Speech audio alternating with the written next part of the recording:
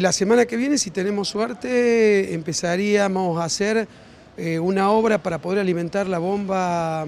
de la cancha, la bomba de riego de la cancha de fútbol federada. ese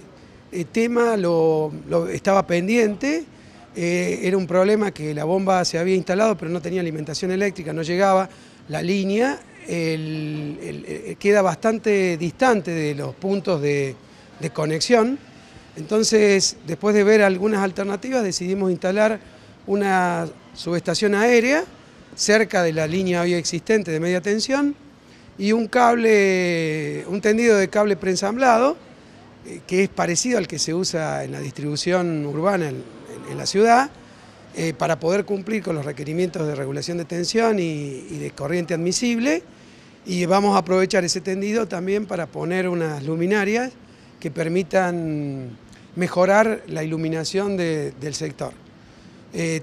la segunda etapa está prevista la iluminación de las canchas de fútbol de entrenamiento, que son las canchas que están eh, a un costado del edificio de tecnología química, de la planta piloto nueva. el objetivo es dotar de iluminación para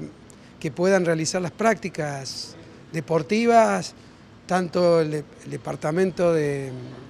Educación Física como por ahí las cuestiones de recreación o recreamiento de la universidad.